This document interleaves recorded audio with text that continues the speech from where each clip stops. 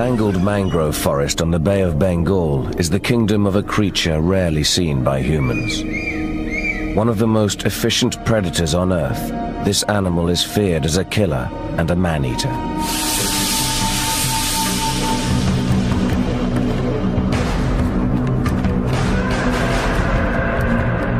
The legendary swamp tiger.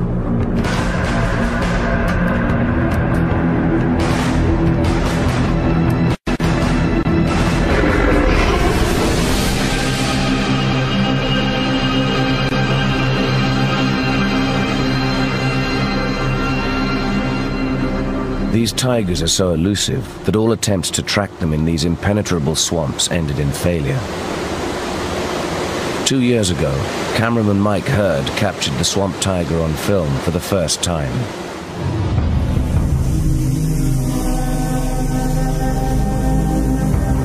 It was an extraordinary breakthrough, the first glimpse into the secret life of the least known tiger in the world. The swamp tiger of the Bangladeshi Sundarbans.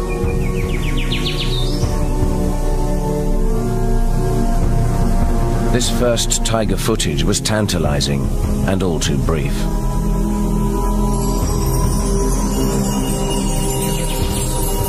But for Mike, it was enough to stir a passion. He resolved to return and unravel the secrets of this mysterious creature. The tigers have never been filmed here before, and I knew that it could be done. I'd gone so far along the road to getting the tigers, and then we just ran out of time.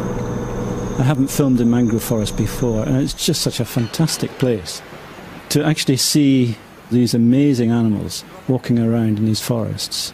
That's what appealed to me, and that's what I really wanted to see. The Sundarbans are remote and dangerous. Mike will need an armed guard day and night. Somewhere in these 6,000 square miles, 10,000 square kilometers, are a few hundred tigers. Yet the only way to track them is on foot. We've just been following these tracks along here. I don't know how old they are, but here's some tiger feces. And I don't know how fresh it is. You can get a stick and give it a poke. Oh, it's pretty old. Yeah. Quite old. The team will be here for the next six months. Rubai Mansur knows the area intimately. He's been bringing small parties of naturalists here since he was a child. Without his help, finding the tigers in this labyrinth would be impossible. Yes, hello, Master Sahib. Hello. Rubai makes sure their floating mobile home, the Al Buddha, keeps as close as possible. For safety, it must never be out of radio contact. The nearest settlement is over a day away. Four mighty rivers rise in the Himalayas and pass through Bangladesh, dividing into small streams and channels to pour into the sea in the Bay of Bengal. They form an intricate mangrove delta, a collection of sandbanks and mud held together by tangled roots. Floodwaters carry human victims downstream. Corpses are washed onto the muddy banks of the Sundarbans, giving some tigers the taste for human flesh.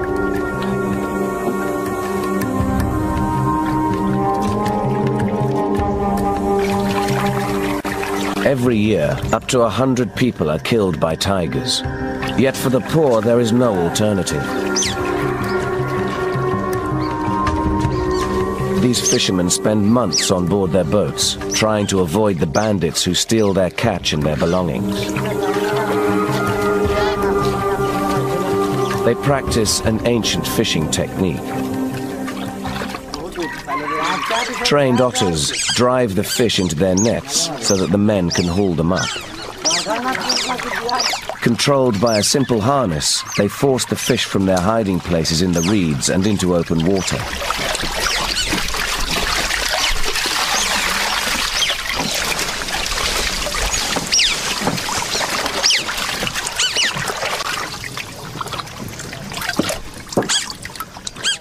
The otters are awarded with their own fish meal from time to time.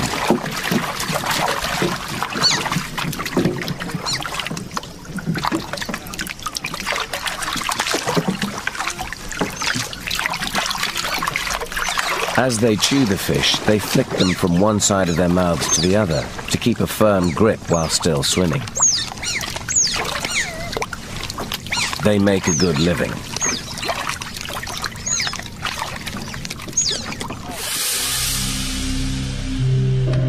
On the muddy bank, the first telltale trace of the tiger, a recent set of pug marks leading deep into the forest. Then more evidence, huge claw marks on a tree. I think at a jumping up on here, the scratch marks. You can see the mud where they've been standing. Amazing. They're walking all the way along here. Hmm, The air is thick with the pungent smell of tiger.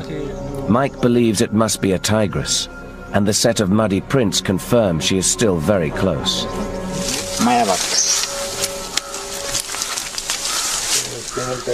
Female tiger.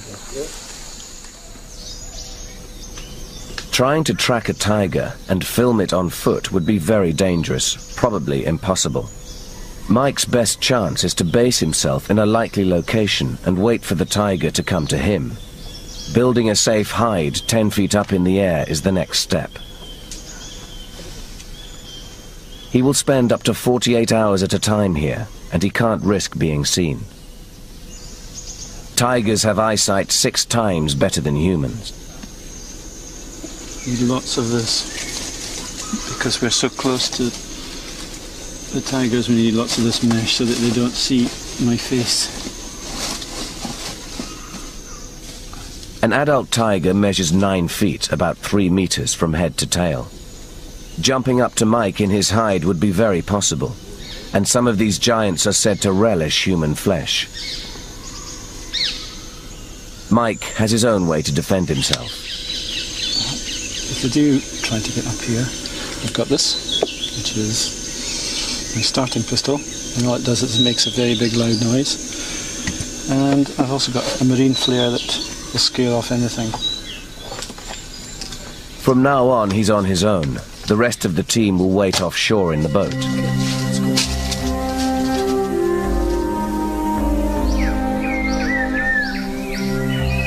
The hide offers a clear view into the magical forest. Now ruled by the tiger, at one time it was filled with buffalo, Indian bison and rhino. They were hunted out by shooting parties a hundred years ago. But some animals still thrive in this watery jungle. Red-faced macaque monkeys watch over their youngsters as they play at eating leaves and fruits. As the infants reach sexual maturity, their faces will redden too. Still relying on mother's milk, the baby picks fruit and drops it to the forest floor. Perhaps he is just copying what the adults do.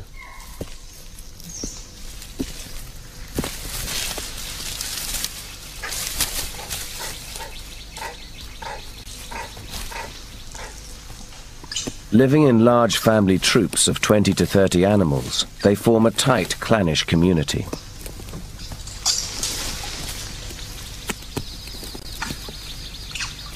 Grooming each other is reassuring and reaffirms their close family bonds.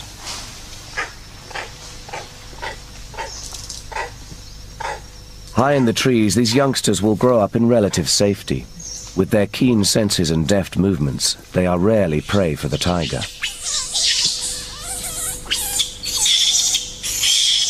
But the messy eating habits of the macaques, chewing bits of Keora leaf and then discarding them, make them vital companions for the favorite tiger victim, the spotted deer or cheetal.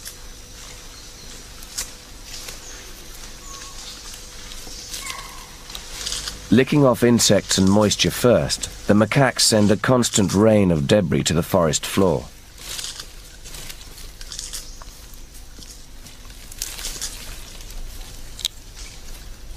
Deer will seek out macaques from up to 70 yards, 60 meters away, and follow them all day. Keora leaves are also the main diet of the spotted deer, so keeping the macaques in their sights means they will be well fed without any effort on their part. A troop this size will drop over a ton of leaves in the course of a year. It appears a relaxed relationship, but monkeys and deer live in constant fear of the tiger. In fact, the monkeys provide an even more crucial service for the deer. The keen-eyed macaques are ever alert to the presence of the tiger and will screech out a warning whenever it comes near.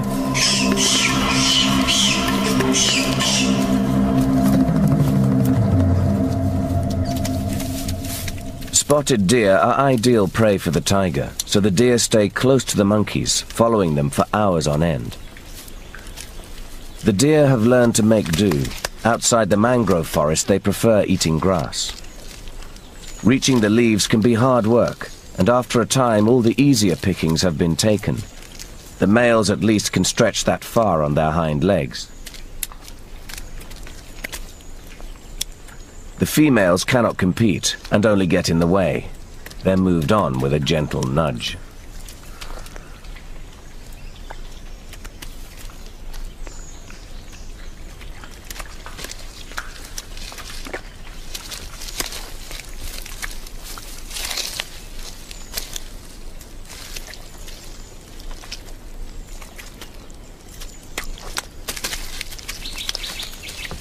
Trees are meticulously trimmed to the level the deer can reach.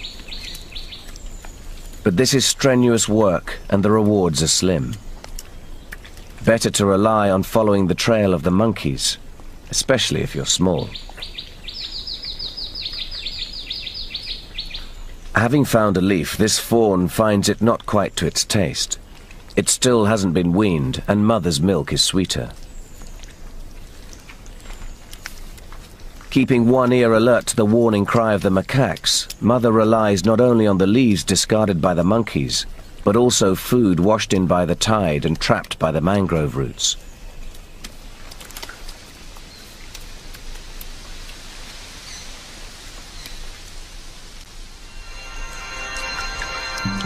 The Sundarbans is a constantly changing world.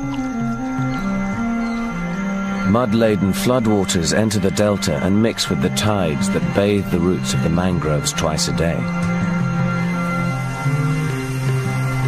Saturated with topsoil dragged from the Himalayas and fields along the way, the floodwaters are slowed and the mud settles. As the tides recede, it builds up in the gnarled roots and slowly forms a new forest floor.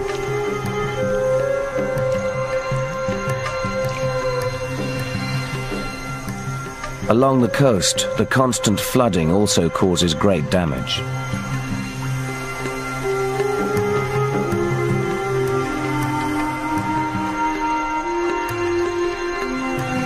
Mud is washed away from the roots of the trees and they lose their tenuous grip.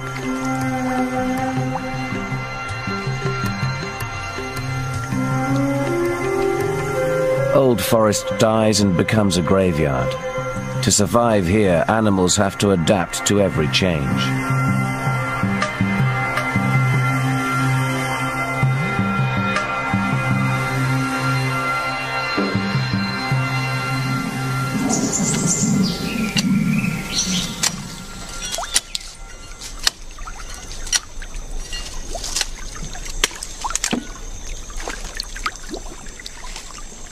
With plenty of prey around, Mike had expected to find evidence of the tiger, but he was disappointed, and it's time to move on. The team are moving deeper into the jungle. The mangrove roots pierce the cloying mud in search of air. The mud is unpleasant and sticky, but it reveals new evidence.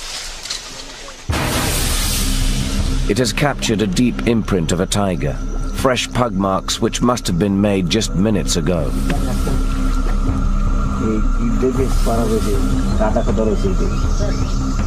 This is actually a really, really nice place. It's it's what I've been looking for. It's really good. It's got all these aerial routes. This says Sundarbans, um, and there was a tiger here.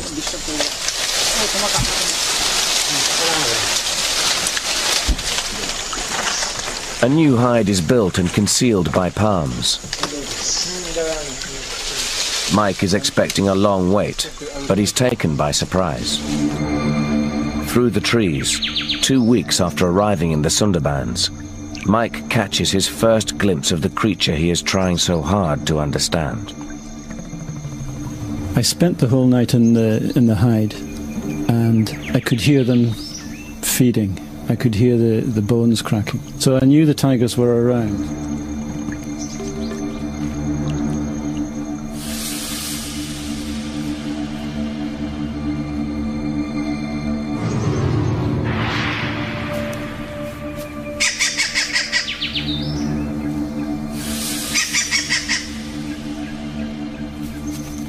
tiger coming out of the forest, and it was all wet and dirty looking, and it looked like it just crossed a creek. But it was amazing to see it because I'd heard it during the night, and it looked very, very scared. It was uh, incredibly apprehensive, but maybe that was because it was on its own. So there must have been another tiger around. I guess the cub was probably about eight or nine months old.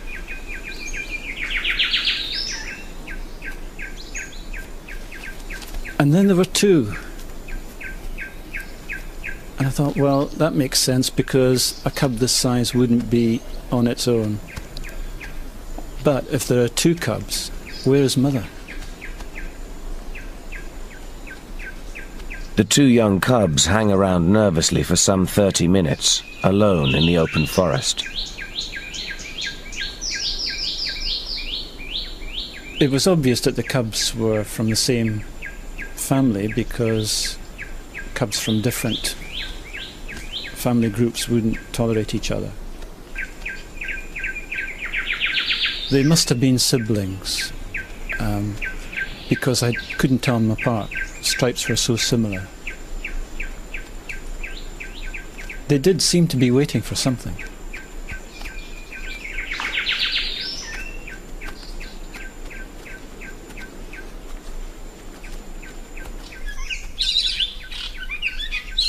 And then I could see Mum just looking at me through the trees. And again, she was quite apprehensive, but she came into the into the clearing and sat down. But she watched me all this time, and although the cubs were uh, walking around, I had to be really careful and, and not move the, the lens too quickly in case I scared them off.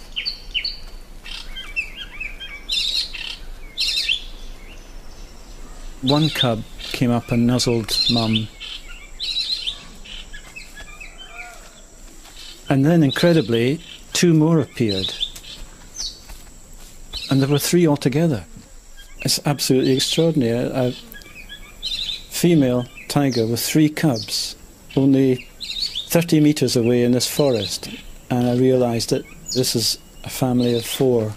That's absolutely amazing. Mike was the first person in the world ever to film a Sundarbans tiger. Now he films four of them all at once.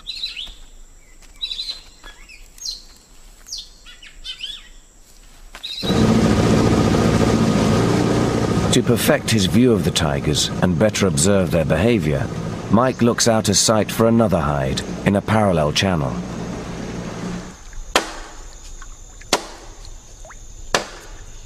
The, the middle mm-hmm. of the hide should be directly in line with, with me here. Okay? Okay. He's going to try out an idea he's been thinking about for a while. He's going to put a hide right in the water. That way his chances of seeing the tiger in the open will be greatly increased. No one has tried this before, but Mike has spent so long working out how this special tiger operates, he reckons he will have a good chance of filming them from here. All the bamboos and planks for the sturdy tower or machan had to be brought here by boat. Since this hide sits quite low, Mike will be vulnerable, so the hide is virtually a cage. The local team are amazed. Smiling at Ali Hassan. He's saying that when first time we built a chance, it took us four planks, four bamboos. Now it takes 20 planks, 50 bamboos. And a cage. Yeah. It's secure, and once clothed in greenery looks well disguised. But the tigers would almost certainly be aware of Mike's presence. Their sense of smell is acute. Once he begins, Mike will be on his own for many long hours, and once the tigers turn up, he will be unable to get out of the hide until they leave the scene. The view is different and distinctive. Mike's first visitor is a brilliantly colored jungle fowl, ancestor of the domestic chicken. It searches for insects through the roots, its feathers iridescent against the gray sludge. There are no tigers, but all around are birds, such as the golden-backed woodpecker and the curious racket-tailed drongo.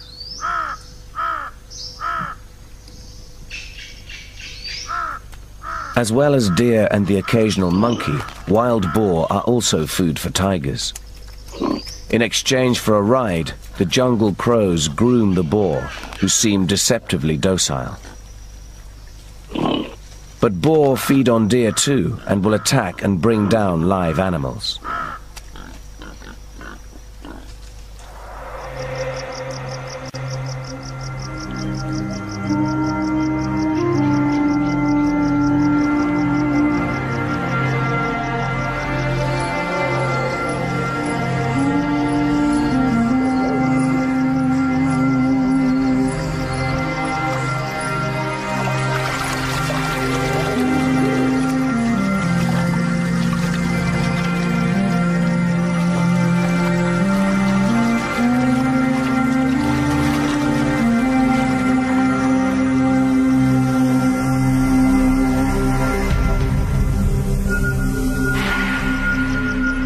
Mother with cubs to feed will hunt at any time, day or night. Each time the cubs move away from their mother or come back from an exploratory trip, they exchange reassuring nuzzles. Sometimes they will follow her, but not tonight.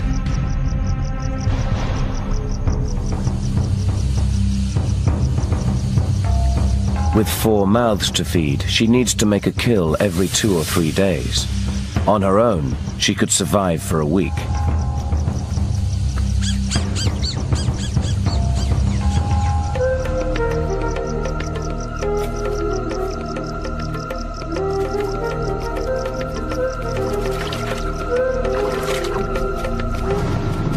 One of the most successful predators on Earth, the tiger moves without a sound.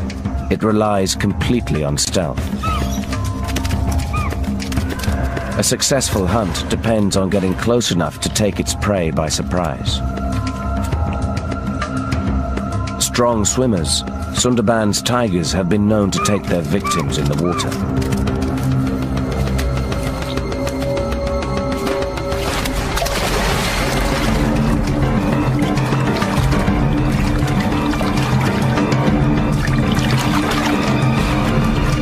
Deer rush frantically, perhaps aware that a tiger is about. But how can they know where the attack will come from?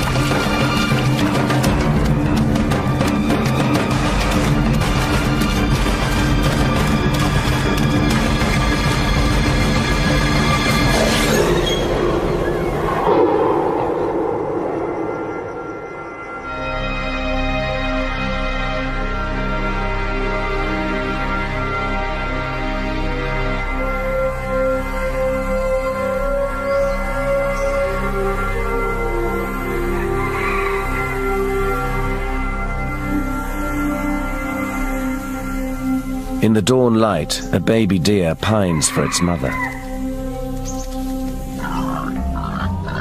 The smell of death attracts two thieves to her corpse. The tigress has gone to collect her cubs, and the deer carcass has been found by hungry scavengers.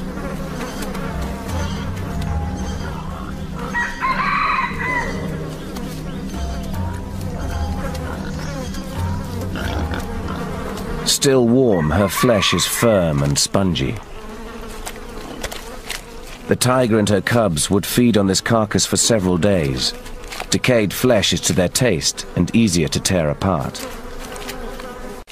The tiger and her cubs would feed on this carcass for several days. Decayed flesh is to their taste and easier to tear apart. Defeated by the fresh carcass, the young boar sidles around its mother to find a way in.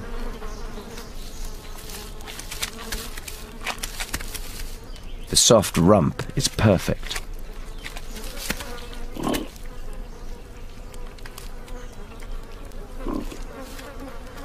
The tigress arrives ahead of her cubs, protectively cautious. She needs to give the greedy wild boar no warning. Not even they would challenge the swamp tiger. Just her presence arouses fear.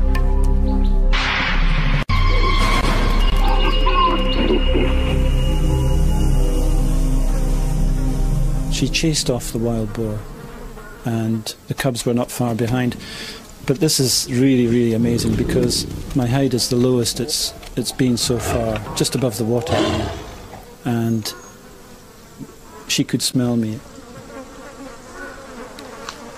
The bold location of the second hide has paid off.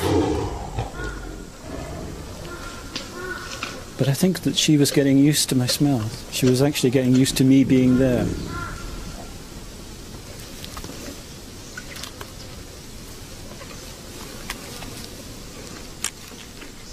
Although she didn't like me being there, she was actually quite quite okay about it. Today, her cubs will have full bellies. But raising three growing tigers to maturity will take over two years. They still need their mother. It will be another eight months before they can hunt their own food. By that time, she will be exhausted.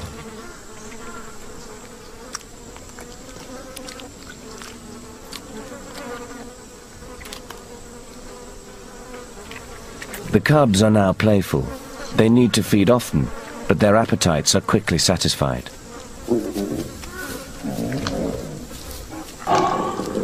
She was growling away, and I could see that she she wasn't really that happy with me being there. She was just tolerating my presence. She was definitely reacting to, to me being there. While she was growling, um, I was pleased to see that she was distracted by something in the trees, probably a bird.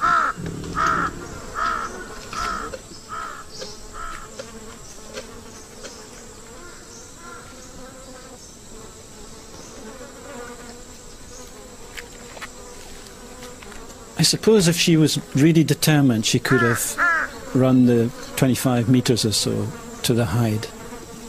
But I never really thought she would do that.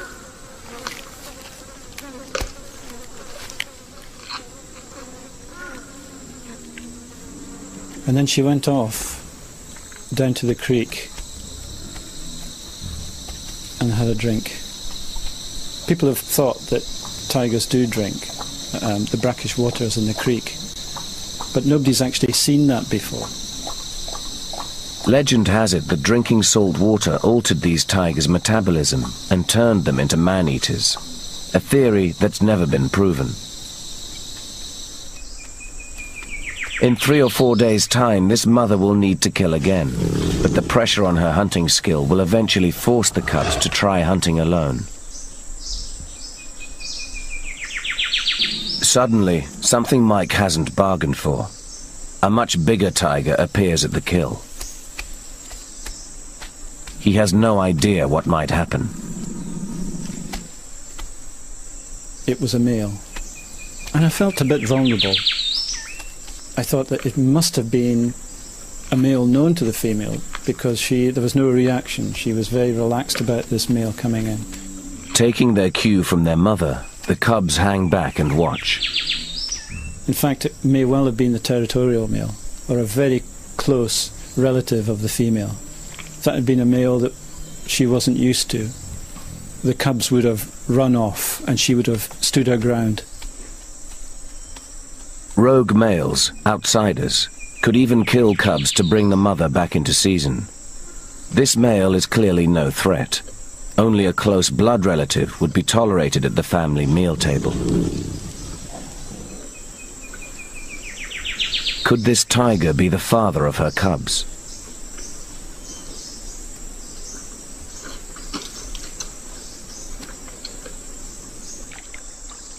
Mike Herd is due to leave the Sundarbans for a month. The first stage of his filming has been more successful than he could ever have imagined. It's been an amazing place. Absolutely amazing. What have you seen? Five tigers. Just amazing. Really? Separately or were they all together? All together, one family, a female and three cubs. Wow. All together.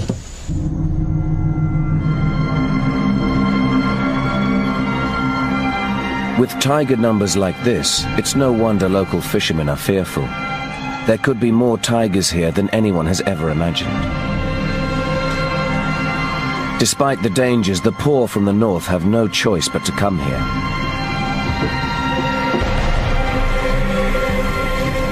At dawn each day, women trawl for shrimps, defenseless in the shallow water against the tiger.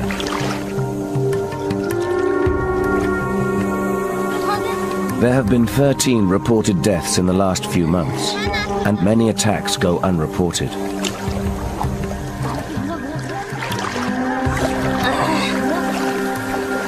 Despite up to 100 people being killed by tigers each year, the landless poor pursue the riches of the Sundarbans season after season. Perilous for humans, the rich debris-filled water makes this a flourishing nursery for fish and a paradise for birds.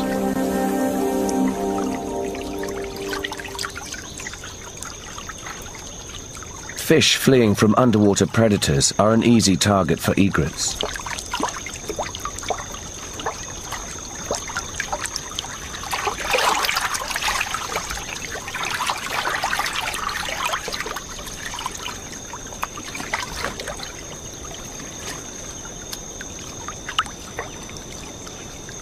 Paddy bird has to work harder to catch shrimps.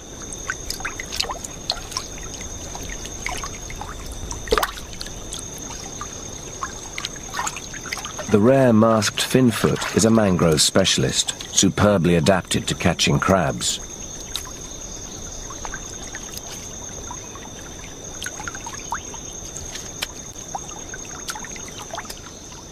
The macaques have adapted well to this unique and dangerous world.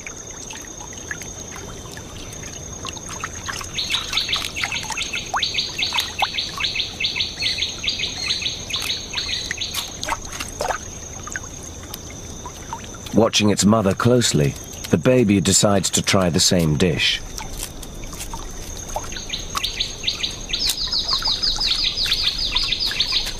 The macaques have learned to harvest the fruits of the mud banks, seeking out the most delicate of mangrove seed pods with uncanny skill.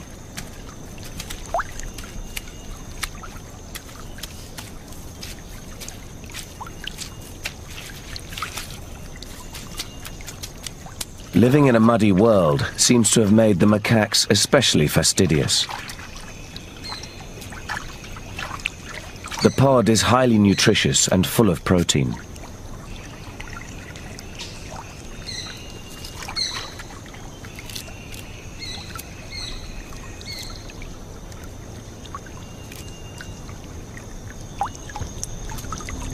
Even though the spotted deer can run faster than the tiger, drinking at the waterside makes them very vulnerable.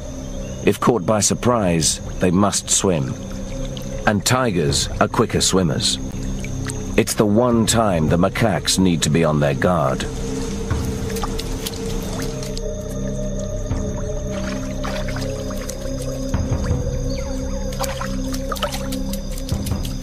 Wild otters, a different species from those corralled by the fishermen, bark out a warning. Perhaps they can smell a hungry tiger.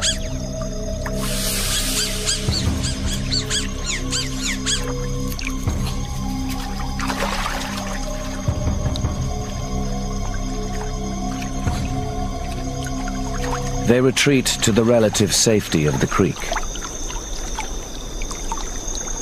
The Sundarbans are a series of ever-shifting islands, and to survive here, all of the animals must be able to swim or fly from danger.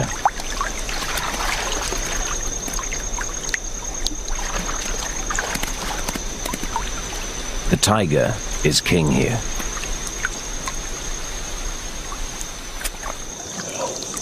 In January, the team returns to set up their next hide. Mike's confident he will film his family of four again. I saw her this morning crossing a, a stream with uh, the three cubs, and they're heading this way. So we just we don't want to lose her now. We've got two different locations of the same family, and it's looking really good. There are rumors of poachers or bandits in the area. Mike is worried. He can probably protect himself from tigers. Humans are more dangerous, and this hide leaves him very exposed.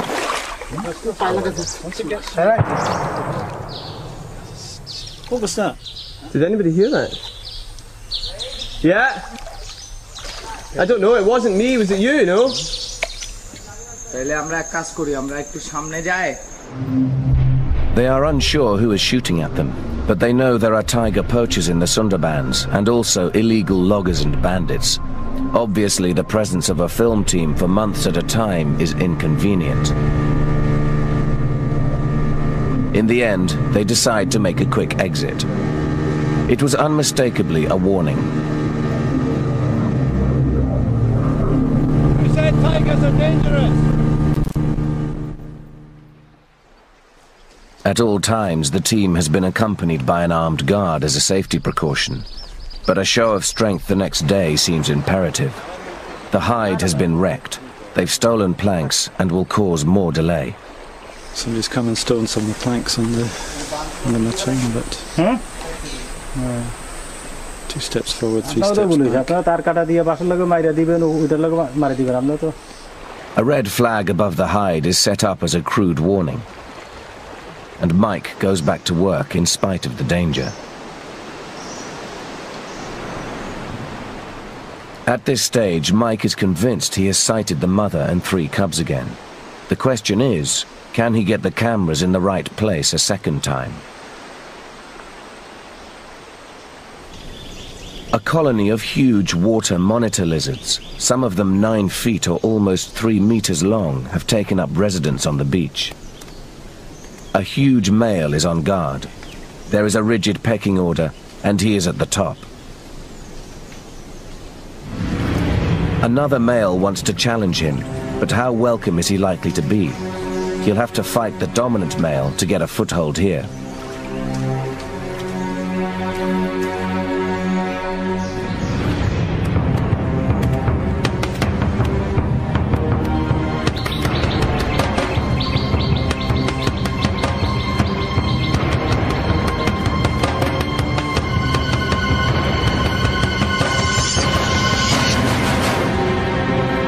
These lizards have razor sharp jaws, but the aim seems to be to squeeze each other into submission. These reptilian giants are extremely strong with powerful leg muscles. They can easily outrun a human. Their tussles are more ritual than territorial. One of the tactics is to wrestle the opponent to the ground.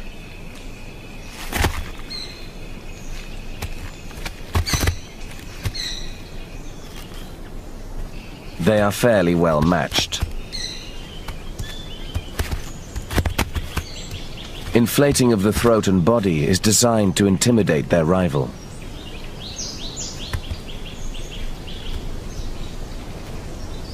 Other monitor lizards already know their place and keep their distance.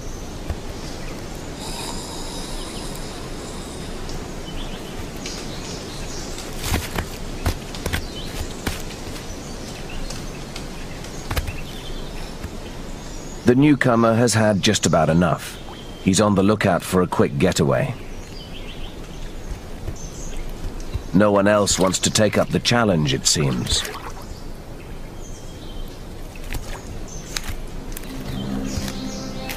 The fight is over, and the resident male keeps his status intact.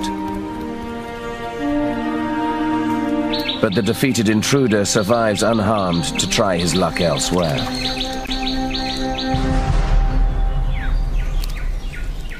Surprisingly soon, Mike's tigers have turned up again. Mother and three cubs.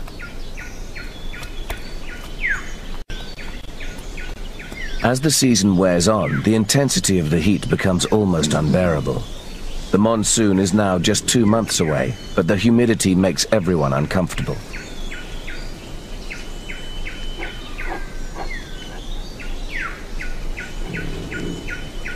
Now almost fully grown, these cubs will have to make their own way soon, alone. In preparation, the cubs are becoming bolder, spending more time exploring the area away from their resting site. As yet, they are not taking risks.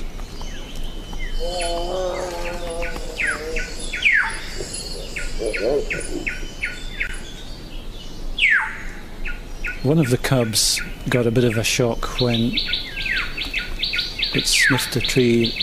I think there must have been some scent left from another tiger. They still seem deeply involved with their mother, signaling each time they wander off and return.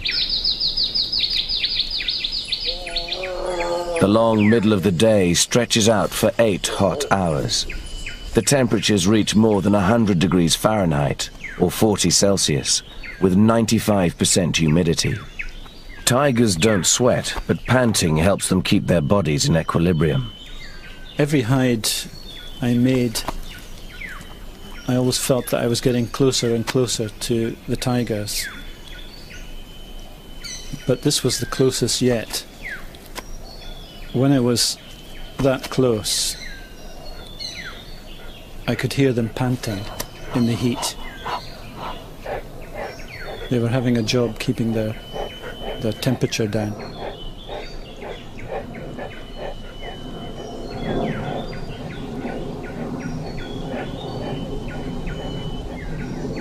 As I was filming, a jet flew over, and just so typical of these animals, anything that moves or makes a sound has to be checked out.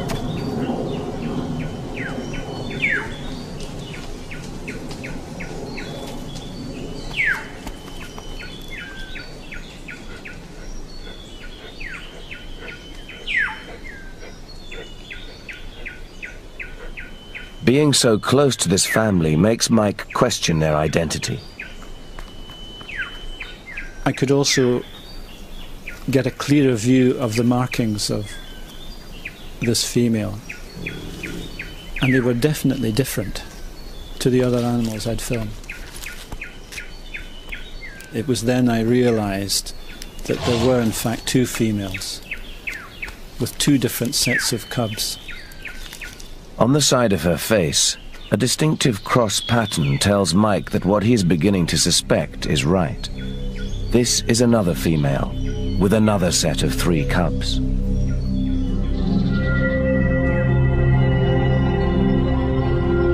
The previous mother had totally different facial markings.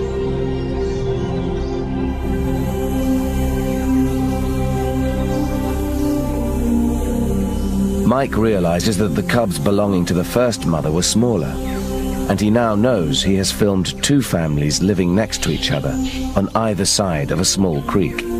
It is totally unexpected. Yet the markings on this new female's face make it impossible to ignore. Her cubs are several months older, probably aged over a year. No wonder they spend more time away from their mother. Catching hold of each other's heels, they are already practicing to hunt alone.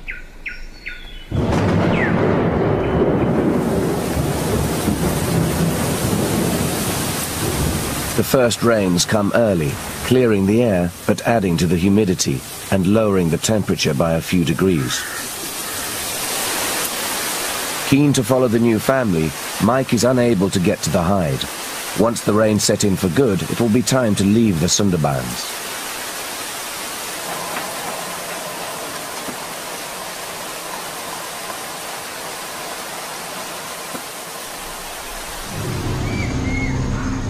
The jungle will turn into an impenetrable swamp and become dangerous as the swirling monsoon waters pour through the channels to the bay.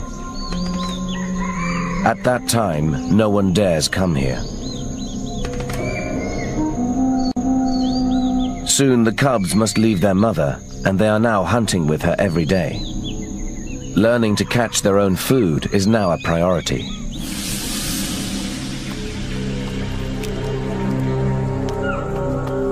It's not going to be easy.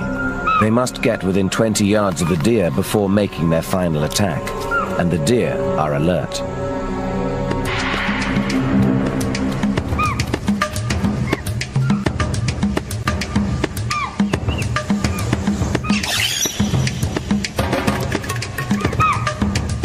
Success depends on patience and cunning.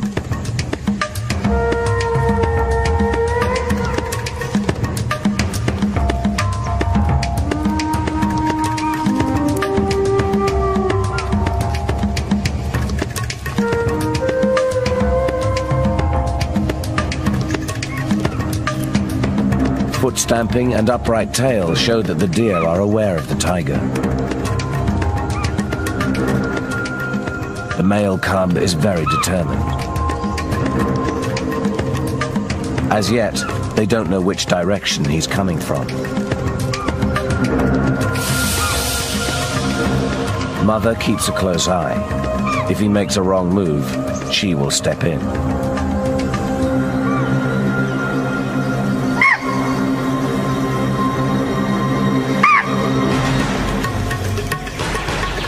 Seeing her chance, the big tigress begins her final stalk. But the youngster has blown it. He's in too much of a hurry. He couldn't wait.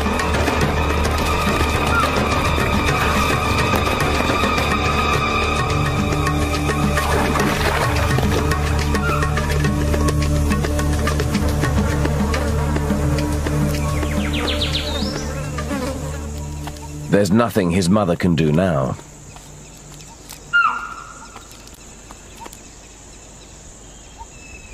But the cub must learn fast. Soon he will be on his own. He doesn't seem to understand quite how the deer got away. Soon she will give up feeding them and the cubs will find their own way or not survive. The females may stay quite near their mother's territory, but the young male will eventually move far away from here.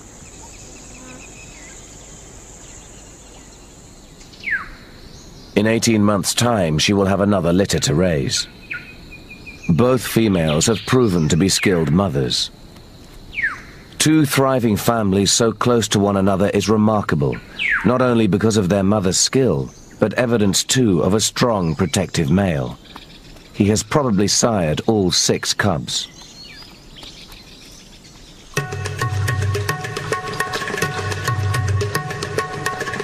Well, this is by far the most difficult expedition I've ever had. I understood just how hostile the Sundarbans could be to human beings.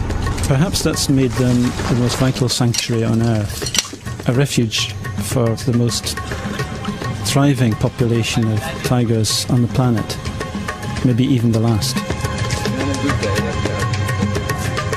When I left the Sundarbans this time, I had a stronger attachment to this place than I've ever felt anywhere else, and especially to the tigers. There is still so much to learn about these tigers here that I'm sure I'll be back. The Bangladeshi Sundarbans, an alien world for humans, the perfect haven for the most successful tiger population in the world.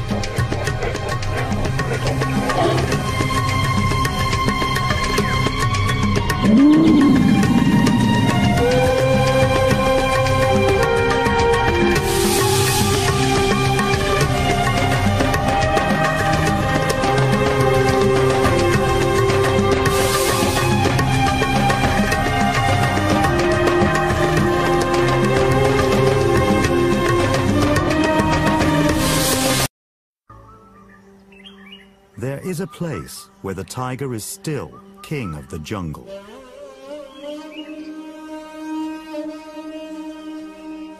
The Sundarbans forest that borders Bangladesh and India. This vast mangrove forest is a last stronghold for the endangered Bengal tiger. It's also a place where these beautiful big cats have a terrible reputation. Some have developed a taste for human flesh. In bad years, over 50 people are killed and many injured. There's growing fear and hostility. Tiger scientists in Bangladesh are desperate to prevent further bloodshed. But if a solution can't be found, the tiger's days will be numbered.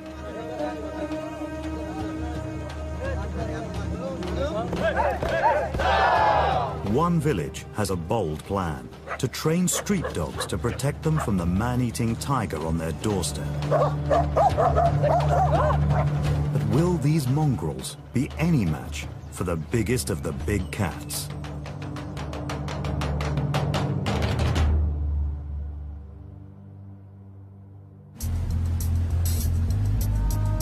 A man-eating tiger has struck again. A fisherman has been killed and his friends want to retrieve his body from the forest. As the tiger could still be guarding the corpse, it's a very risky thing to do. Tiger biologist Adam Barlow and his forest department team want the group to turn back. আমি বুঝতে পারি যে আহ, আপনার বন্ধু ভিতরে আছে কিন্তু আহ, একদম বিপজ্জনক আহ, অবস্থা আমি 100% sure, people don't bag a kobe. Adam's an expert on the man-eating tigers of the Sundarbans and knows these people are playing with fire. We try to persuade them not to go in there. This is a very bad idea, but they're going to go in anyway. And we're going to try and help them a little bit, make it a bit safe for them. Um, but this is really not uh, a safe situation. Adams worked with tigers in Asia for over eight years, but he's never known man-eating to be as bad as it is here in Bangladesh. Lots of tiger tracks uh, here. We're very close to the spot where this man was killed. Now I'm going to try and organise things so it's a bit safer. Egg minute, egg minute, okay.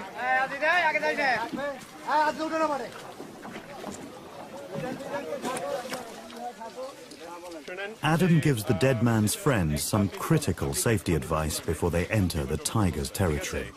So আমরা মনে হচ্ছে যে ভিতরে যাইতে সময় আপনার একটা বন্ধুর সাথে সব সময় একটা বন্ধু and যদি বাঘ আসতেছে and রাগ আছে রানিং না মানে যোগাযোগ যোগাযোগ and লাঠি ওকে and একদম শব্দ and আরো মানুষ আসবে ঠিক আছে after a lethal bite to the man's neck or throat, the tiger would have dragged the victim into dense forest. A man's body is large enough to provide meals for several days.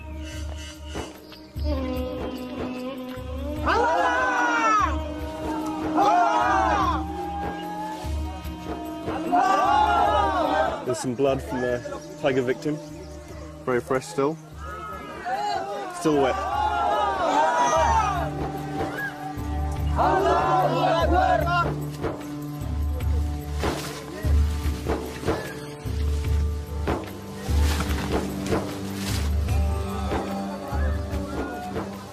Still following the blood trail. They found a bit of cloth from the man's clothing that was uh, the guy that was killed.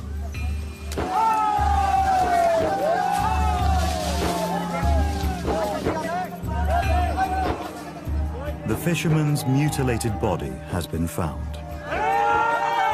The tiger hasn't finished its meal.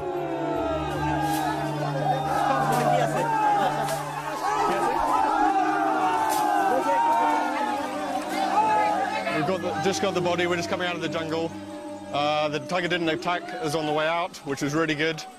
And now they're going to transport the body back to the village for a proper burial.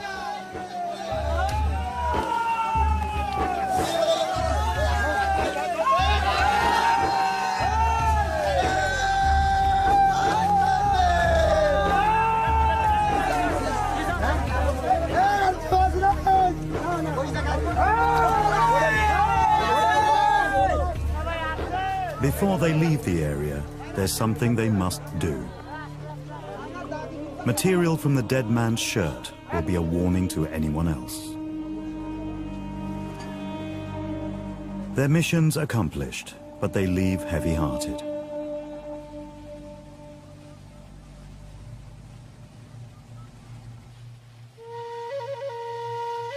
The Sundarbans is the largest mangrove forest in the world.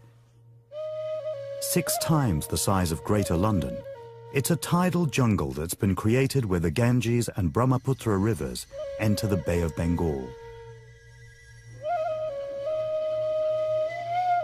It's hostile to humans, but the delta is rich and diverse in wildlife and a sanctuary for 400 or so Bengal tigers.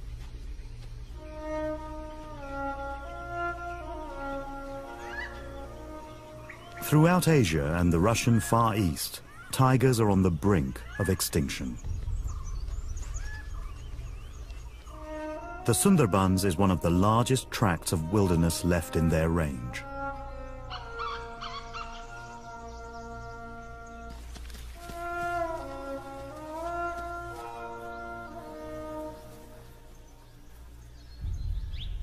Tigers are usually frightened of people, but not here.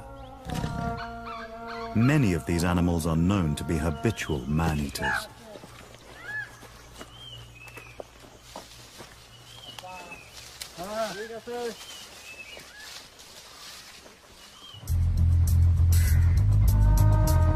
Adam and the Forest Department's Tiger Response Team are battling to save an endangered big cat while also struggling to keep local people safe. The tigers making their job increasingly difficult because it's no longer just the people working inside the forest who are at risk from attack.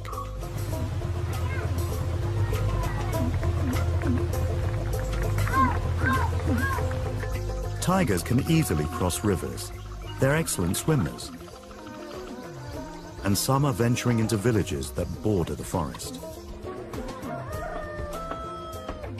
For over a year, the residents of Chandpai, on the northeast edge of the forest, have been terrorized by a predatory tiger. For many months it killed livestock and dogs, but one night it took its first human victim.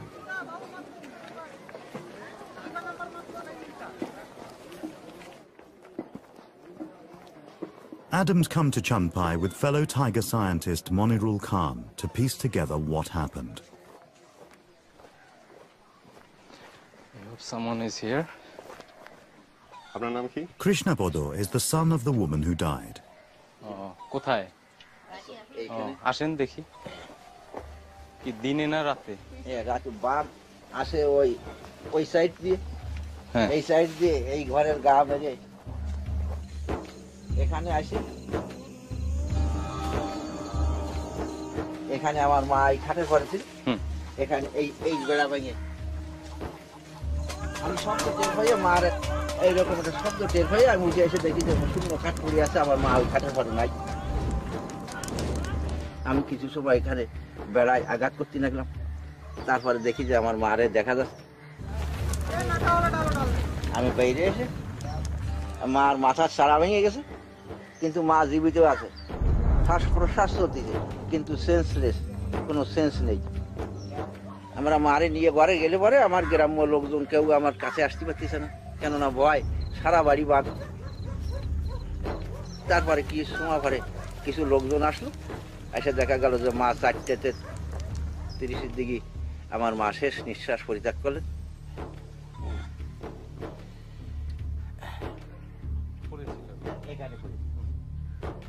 But what provoked this attack? Looking at this wall, it looks quite substantial to us, but it's pretty flimsy for a tiger, and no more than some vegetation it might see in the jungle. And it sensed the woman in there, punched a hole through, and grabbed the woman out. Um, the tragic thing and the surprising thing is, is that um, from this vantage point, you can see a whole load of cows over there. So the tiger's come here, it's got the choice. There's some cows over there, there's, some old, there's an old lady in there. I'm going to get the old lady.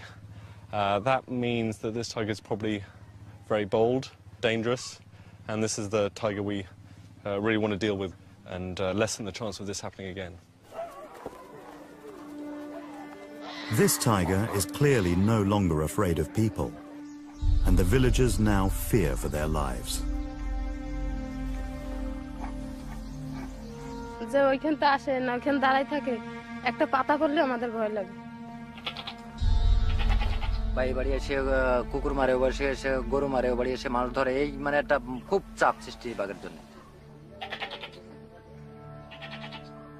বাঘ যখন রাত্রে আসে তখন মানুষ ভয়তে রাস্তা দিয়ে হাঁটা চলা করতে পারে না।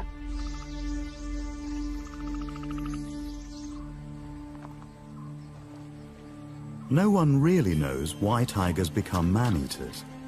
Old, sick or injured tigers may find killing humans easier than animal prey. Perhaps some tigers have added people to their diet after feeding on the victims of devastating cyclones. What's clear is that for Sundarbans tigers, eating humans can become a habit.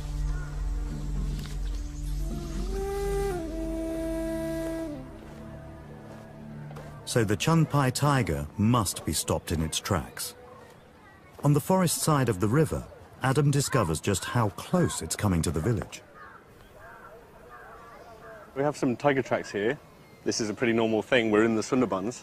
Uh, the trouble is, uh, we're also right next to a village.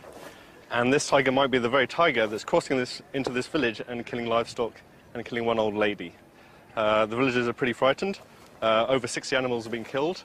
And if we don't sort out this problem soon, we're going to have more livestock loss, more possible human tragedy, and nearly definitely a dead tiger.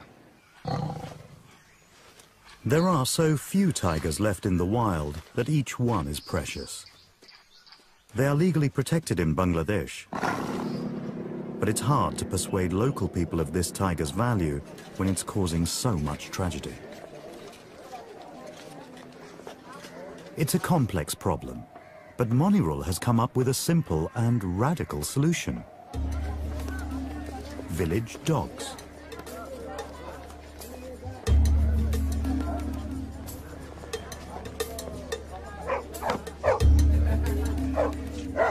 They're lowly mongrels, but Monirul thinks they could be trained up, not only to warn people of an approaching tiger, but also to scare it away for good.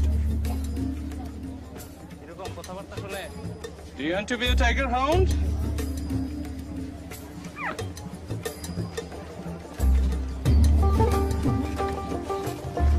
In order to test his idea out, Monirul needs the help of a professional. Marielle Schmidt is a dog trainer from the United States who's volunteered to come to Chanpai to see if she can help make Monirul's idea work. Hello. You must be Maria. Hi, I'm Nice to meet you. Welcome to Chanpai. Thank you. Thanks for coming.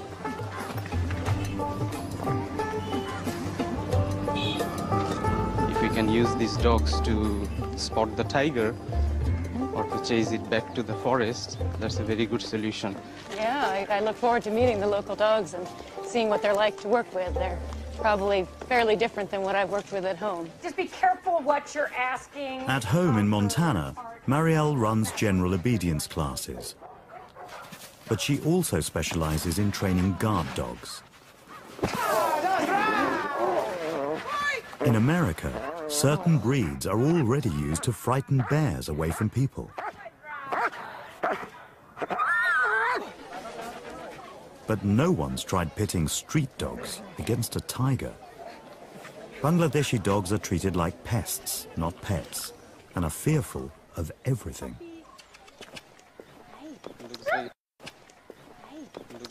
Oh, yeah, that one's a little shy for what we need. Yeah. It's a little skinny, too. Marielle has just three weeks to see if she can transform them into obedient tiger hounds. Adam, meanwhile, is trying to control the immediate crisis. He knows the Chanpai tiger might strike again at any time. Adam and his team will offer the villagers advice and support if there's further tiger trouble. Okay, thank you. Thank you. They post stickers around the village to publicize their tiger helpline. Uh, we're going around now for all the mobile phone shops. These are the main places where everyone goes. If someone uh, hasn't got a mobile phone, they're going to go there and see that sticker. Someone calls a number, um, if there's a tiger in the village, then we're going to rush to that spot and try and uh, stop chaos uh, happening, stop people being killed by tiger, stop the tiger being killed.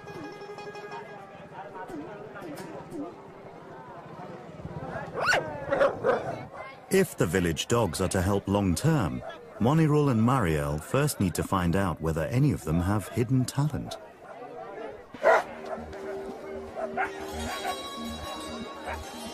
The villagers of Chanpai have been invited to a dog audition in the school playground. The motley crew that turn up aren't the pedigree breeds Mariel's used to working with.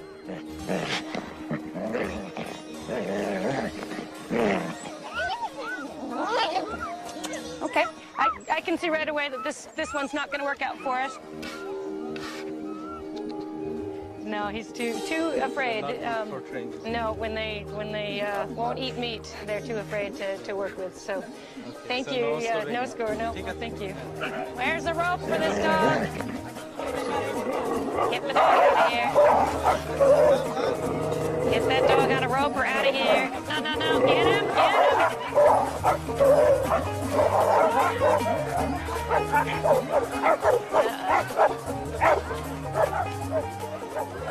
It's a bit of a crazy situation here with lots of uh, lots of people and dogs and activity, and when you bring them in close proximity, it's not un uncommon to have some tensions.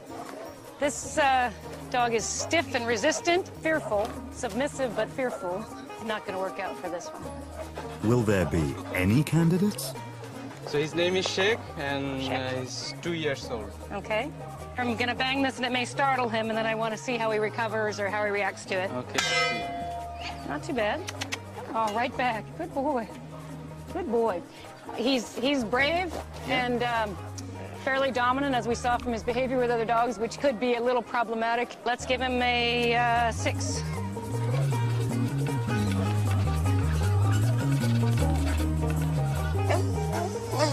with the females because they spend much of their life here raising puppies or being in heat, and uh, that could be distracting for the boys in the pack. So probably it's best to stick with males for the pack work. Thank you. We'll let her go take care of her puppies. So no score. No score. Haluka, good boy. Oh, this is nice. He's much more responsive. Willing to take it from my hand the first time. Did you eat that? Good boy. Careful. Just one, one at a time. Okay. So let's try it. Yeah, see? Yeah. It's okay, okay, okay. I kind of expected that. Good boy. It's okay. It's okay. It's okay. His name is Bullet. Bullet, okay. He's the first one that's been quite aggressive taking the food from my hand, which is not necessarily a bad thing. He would need to learn respect. He's a little jumpy around his head sometimes, a little nervous about being touched back there, um, but that can be a, a, a bit of a dominance trait too. Okay, I like him. I give him my highest score. We'll give him a seven. Okay, that's Yeah. great. Yeah. So this is the Good boy. highest scorer. Yep, highest score so far. At last, a handful of dogs with some talent. But they're still a long way from creating a canine defense force.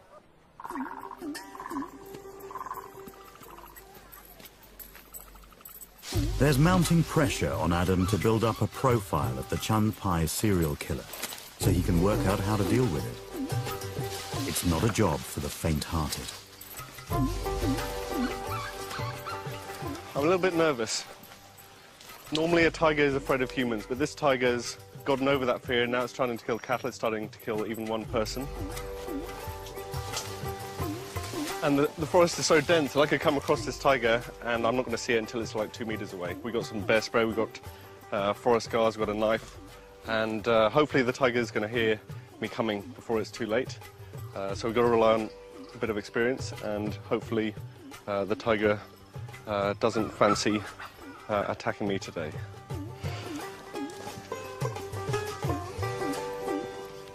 Tiger tracks, a few days old. Probably now, I don't really know, it's a little bit messed up. But heading this way, heading towards the village. I'm going to see where they go. Its gender is significant. A female may have hungry cubs to feed. If she's a man-eater, her cubs may also develop the taste for human flesh.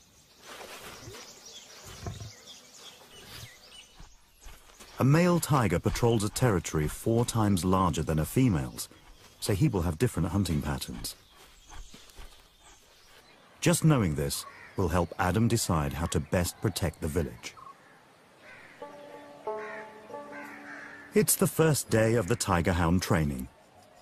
The chosen dogs and their owners make their way from Chanpai and neighboring villages to Mariel's training ground. Eight dogs were selected from the dog audition. Mariel now needs to turn them into a well-behaved pack. It looks like it's going to be interesting here. A lot of uh, growling and attitude already, so hope we can keep the peace.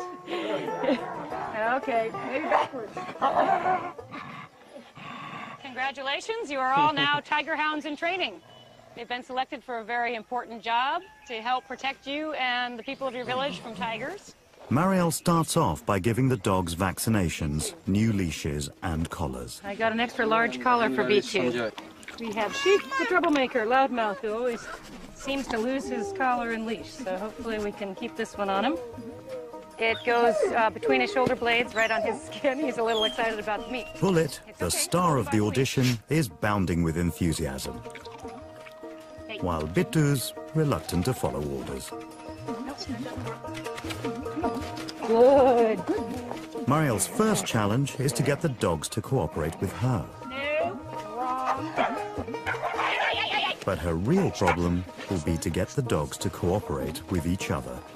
Enough of that.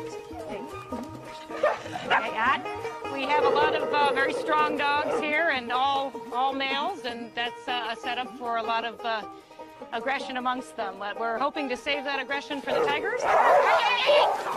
No, okay, too close. Okay, too close. Barely an hour passes before the first casualty. Bittu slipped his collar and attacked Som. He's got a pretty nasty looking wound in his hock.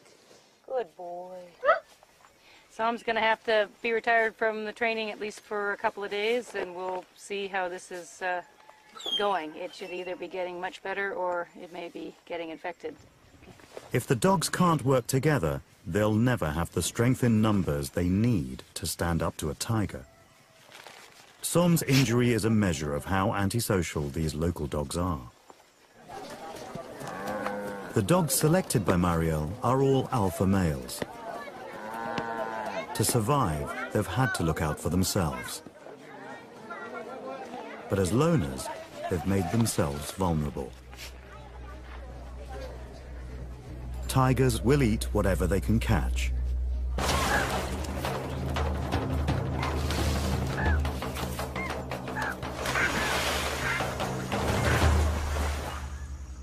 As top predator here, they play a vital role in keeping the forest wildlife balanced and varied. So why has the Chanpai tiger turned its back on its natural prey and begun to eat domestic animals and people instead? In the forest near the village, Adam makes a discovery that may explain why the Chanpai tiger has become so bold.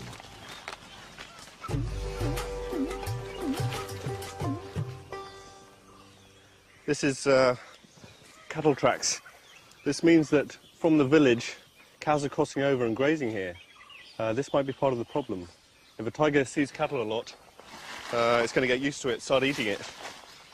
Maybe overcome some of its fear of things associated with, with uh, people. All over the place, just cattle. I just can't believe how many tracks there are here. Uh, if I'm a tiger and I'm hungry, I see a big fat cow wandering around, I'm gonna I'm gonna get it after a while. Sometime during the night, the tiger will be walking close by to here. And at some stage it's gonna make a choice. Does it go does it stay in the forest? Does it go into the village? Take some easy pickings from the cattle in there.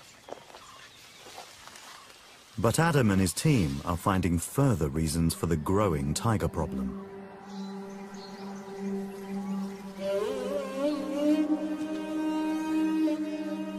As the villages that lie close to the Sundarbans expand, wood and other forest resources are being used up.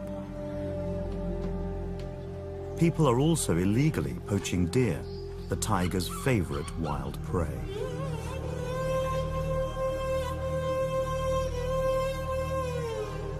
Many villagers realize the tiger's going hungry. মনে হয় যেন জঙ্গলে কোনো খাবার পাচ্ছে না এর জন্য আসে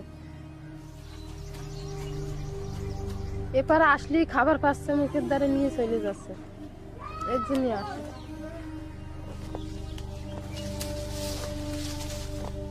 এক বাঘের জন্য জঙ্গলটা নির্ভর থাকে বাঘের পরে। এবং এই জঙ্গলটা আগে ধরেন খুব ই ছিল আর কি বাগান সাগান ছিল। এখন বাগান সাগান নাই, জঙ্গলটা হালকা হয়ে গেছে মানে চোয়া হয়ে গেছে।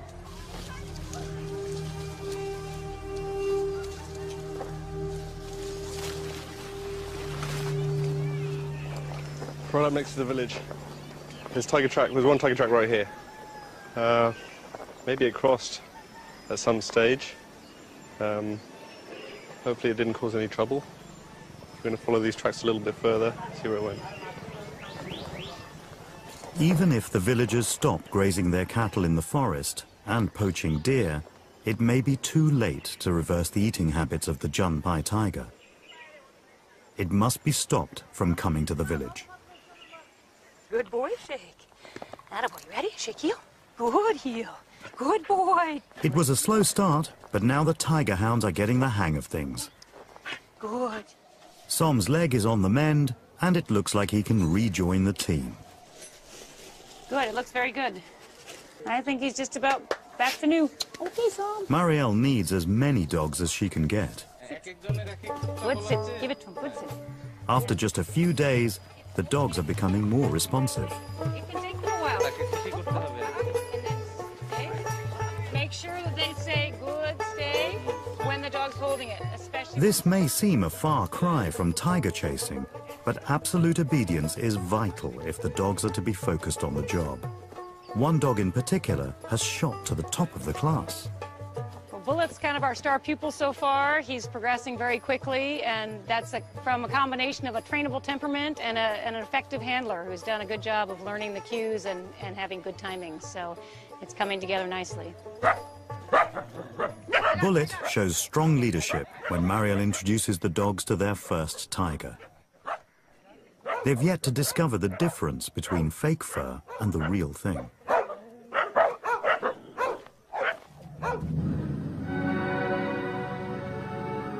Lakshmi has been in another fight and has even worse injuries than before. Although the villagers live with tigers on their doorstep, few have ever seen one and know little about them.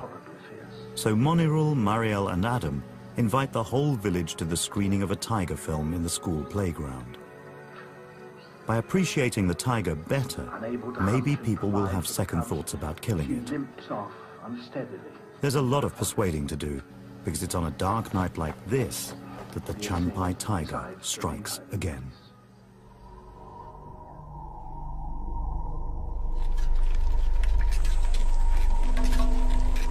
This time, it's only a goat. But Monirul knows, from eight years studying tigers, that the loss of just one animal can have a devastating impact on family fortunes. So there's a fresh pug mark over here. তো এই দিক দিয়ে নিয়ে গেছে না জঙ্গলে এখান থেকে ধরে এখান থেকে যাই ওখানে পাড়াইছে ওখানে পাড়াটার আছে ডালকের খুলে গেলি দেয় So the tiger grabbed the goat from here and took into the forest, which is only few meters away, and there is only a creek between the village and the forest. It's a big loss for him as he is a poor man, and the goat was pregnant, so it's a very big loss for the family. পানি সে তলাই গেছে এইখানে হ্যাঁ Chand পানি সে তলাই গেছে এইখানে হ্যাঁ Chandpai is losing patience with this tiger. হ্যাঁ এই এই এই পাড়া I'm going to call Adam and tell him about this tiger. Monirul wants Adam to track where this tiger went after making its kill.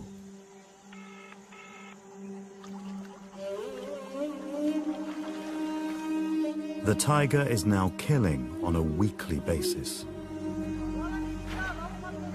It may be a protected animal, but if it carries on like this, villagers will take the law into their own hands.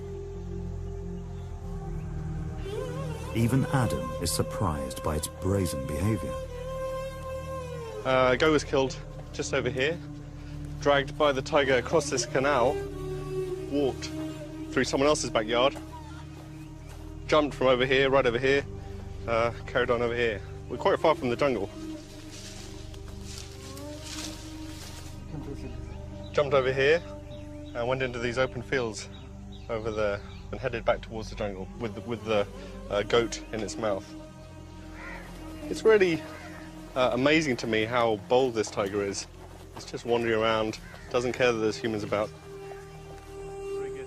And reaching the riverbank, Adam finds the trails red hot. The tiger's been seen in the last hour. আপনি দেখেছেন এই বাঘ কি অবস্থা মানে আমরা তো ওখানে অ্যাপেল খেতে গেছি তাই আপনি এই পাশে থেকে না এই পাশে থেকে আমি ওপার গেছি নিকটে বাঘ নিকটে কত নিকটে এটা সাত আট দূরে সাত আট Sure. So he was actually on the other side of the canal. Maybe it was really close. I don't know. There's always some kind of crazy story around uh, tigers, but definitely there's some tracks over there. We're going to have a look right now.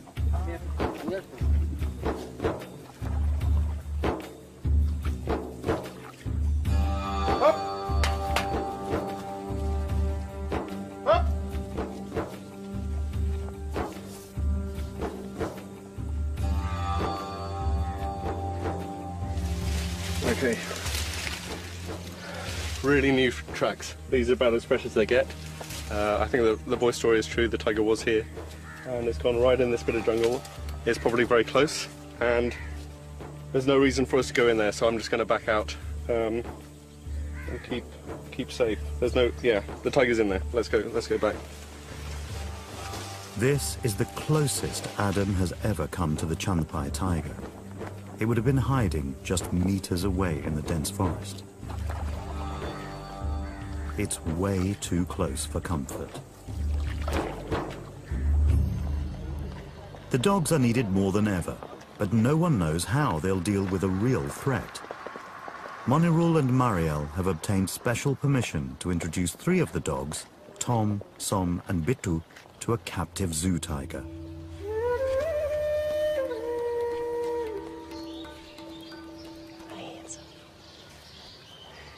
What a magnificent creature. Well, this will be really exciting to see what the dogs do. There's no doubt we'll get a, a reaction today. One by one, the dogs are taken to meet the tiger in its den. Good boy. There we go. Oh, we're right here. Okay. Look, find the tiger. first. There, there, okay. okay. Good boy, good boy, good boy, good tiger, good tiger, good boy, good tiger, good boy. That's it. But Bittu doesn't even make it into the enclosure. Good boy. I'm not going to push him to go any closer because that's obviously very scary for him. Good boy. Good boy, Tom. Good boy. Where's the Tom's up next. Will he be braver than Bittu? Good, good. Good, Tom. Good boy. Good boy. Good boy. That's the way, Tom. Good for you. Ooh, look at the tigers.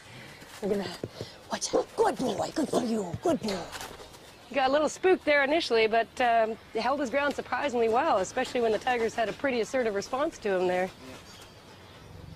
The tiger's last visitor is Som. Okay, I think Sam's going to give us our strongest reaction yet, one way or the other. He's been more tuned into scent, which he's already picking up here nicely. Where's the tiger, Sam? Where's the tiger? Good boy, Sam. Good boy. Good boy. Good boy. Good boy. Good. Good, tiger. Good boy. That a boy, Sam. Good boy. That's pretty impressive. Stand up to that. Good boy. Good boy, Sam. The next step is to see whether they gain strength in numbers. The pack of three head in together for a face-off with the tiger. Good boy. Good. Good boy. Good. Good. Good. Good. Good. Good boy. Good boy. Good, Bittu. Good boy, Bittu. Good boy. Good. Good. Tiger looks less sure, less sure of itself. There, the tiger's leaving. Okay, that's a different response we've seen. Good, good, good, good, good, good, good, good boy. Good, good, for you. Good, good. Bittu was the weakest link, but brothers Tom and Som took heart from each other, showing that dogs that have grown up together work best as a pack. Good, good, Sommy, good, Som, that a boy. Okay, let, let's move it out here. I want to think our point's been made here. Let's, let's head on out. Tom, Som and Bitu's owners have a particular reason for wanting their dogs to protect them from tigers. They have one of the most dangerous jobs in Bangladesh. They are forest honey collectors. On April the 1st, they join other teams gathered from across the Sundarbans to wait for the official start of the honey collection season. Hundreds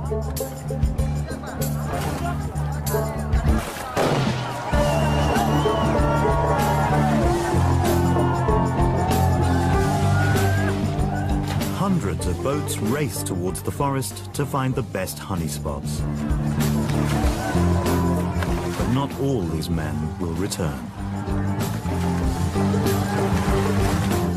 Last year, 20 honey collectors were killed by tigers.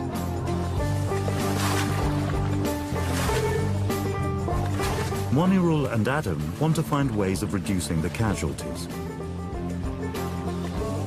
Tom, Som and Bittu's owners would also have liked their newly trained dogs on board, but domestic animals are currently not allowed in the forest.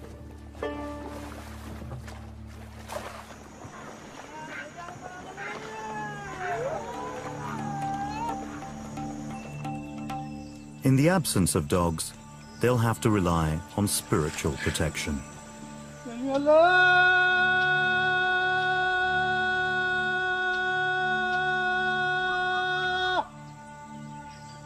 They will not venture into the forest until the Gunin or shaman has performed his traditional ritual.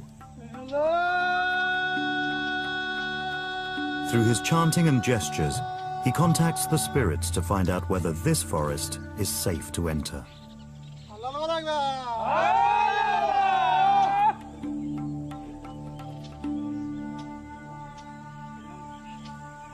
Honey is a precious commodity, but they will collect as much as they can in the shortest time possible. They are dicing with death.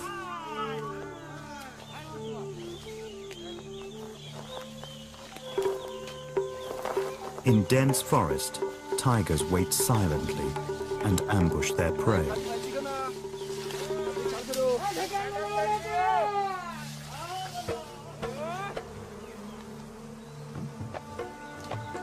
Found the hive, and uh, now we're to burn some leaves to smoke out the bees so they, they're not so aggressive. Collect some honey and go back to the boat.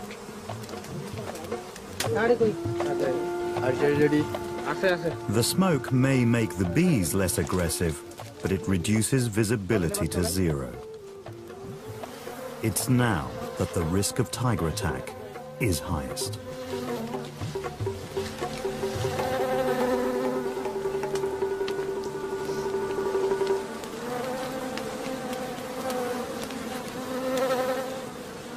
Monirul sees just how useful dogs could be. I think uh, dogs could make a big difference because it could smell the tiger when people are busy at work or when they smoke the honeycomb and perhaps would save their lives. Although it is not permitted now, but I hope in the future perhaps they will be able to use the dogs when they work. It's a dangerous job and for not really that much reward. And they really run a risk of being attacked, and, and quite a few of them are. So if there's any way we can make them a bit safer, then we've got to try those, try those things. The Chanpai street dogs were once treated like dirt, but now both handlers and their dogs have become local celebrities. Marielle even has her own fan club. Wow, a whole book.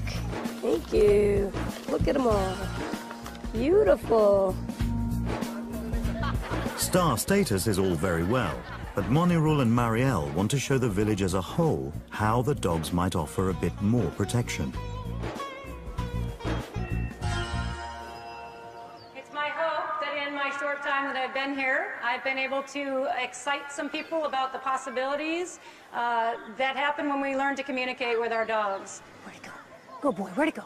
Som has a fantastic nose for tiger scent. and has been trained to sit once he gets a whiff from one of the boxes. Yes, Som. Yes, Som. He doesn't let Marielle down. Good. I think that's probably good, right? Okay. Okay.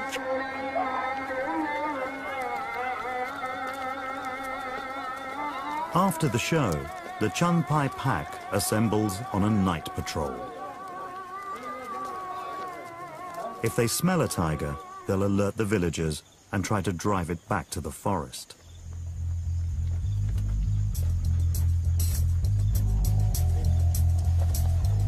In just a few weeks, they've been transformed from street dogs to tiger hounds and have given the local people some much needed courage and confidence in dealing with their problem tiger.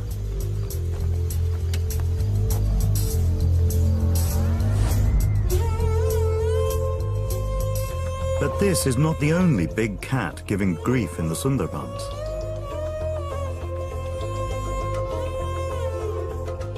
The Tiger Response Team has learned via their hotline of a serious incident far to the west of Chandpai.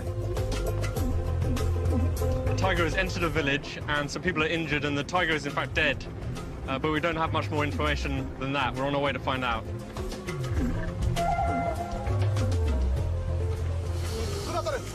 It's dark by the time Adam reaches the forest guard post where the dead tiger's body has been taken. It's a tragic sight to see such a magnificent and rare animal bludgeoned to death. We're now trying to weigh the tiger, trying to find out uh, how heavy it is. We don't know much about tigers in the Sundarbans, how big they are. Uh, and this is important information to see if this tiger is a, Uh, a little bit different to tigers living in other areas. Measurements from other tigers killed by people suggest that Sundarbans tigers may be much smaller than other Bengal tigers. Adam notes this tiger's identity, sex, and age. We know it's a young female because of the condition of its teeth.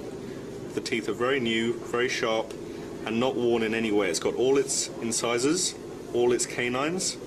I think it's probably about three years old. This young female was close to breeding age. Over the past century, tiger numbers worldwide have plummeted by 95%. And now there's one less tiger in the Sundarbans.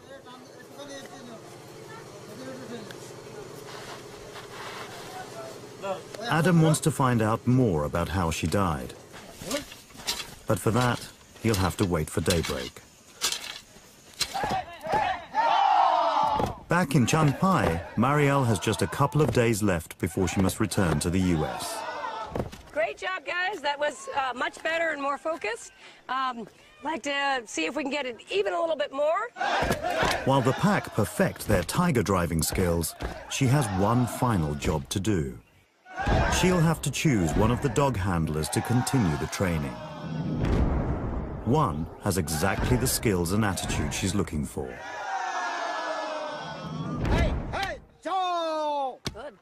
It's Shubod, the owner of star dog Bullet. If local people can show such resolve, then Adam won't have tragic missions like this. He travels to where the other tiger was killed and talks to the locals to build up a picture of what happened. This is the place where they first saw the tiger. About 20, 25 people came with sticks. It attacked one person. Then the tiger just shot off in this direction. We're going to go and see the next scene of uh, what happened. Frightened and confused, the tiger would have lashed out in self-defense. This is the next place. The tiger paused again. We traveled about uh, 40 meters through the paddy fields. They shouted, they tried to get close to it, tried to scare it away. It attacked one. So again, the tiger paused. We've traveled about 15 meters. The same group of people. At the moment, the, there's just a small group of villagers. Right here, it attacked three people, injuring, biting, scratching, uh, and again, it moved on, trying to just trying to escape these angry villagers. Everyone is coming. Everyone from the uh, village is coming. Maybe more than a one or two thousand people. This is the last place that uh, the tiger attacked someone. And suddenly you come across the scene of a very violent and frightening confrontation. Yesterday at 11 o'clock, a tiger was right here, and there was maybe two or three thousand villagers surrounding it, beating it to death with sticks. Why it happened was because people didn't know what to do, they were afraid, and, and they had no training in, in how to proceed. Um, we're going to change that. We're going to have teams that can respond to these incidents and know how to work around tigers and know when to uh, intervene and when to just keep people separate from the tiger until it has a chance to go back to the jungle.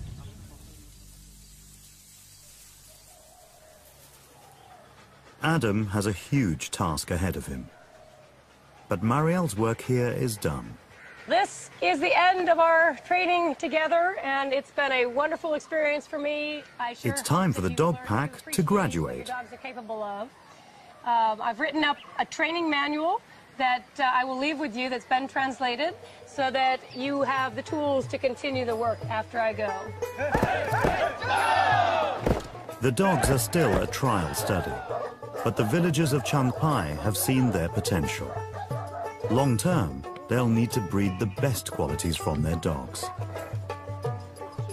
Som's superb scent detection, Bullet's courage and intelligence, Sheikh's aggressive attitude,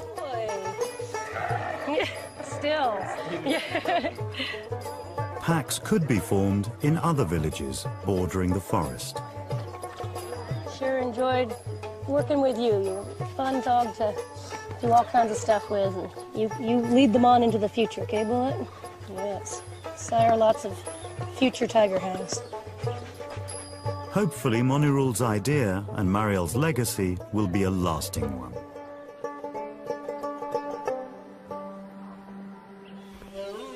The human tiger problem must be resolved because the repercussions are huge for people and tigers. বাঘ যদি না থাকে তার জঙ্গলটা থাকবে না জঙ্গল যদি না থাকে আমাদের সম্পদ থাকবে না এই বাঘ একটা রক্ষী জঙ্গলের পাহারাদার সহজে বোঝা যাবে If people can find a way of minimizing conflict, then the Bengal tiger might be seen as the region's greatest asset, rather than its most terrifying threat. And the Sundarbans will remain a last great refuge for the tiger.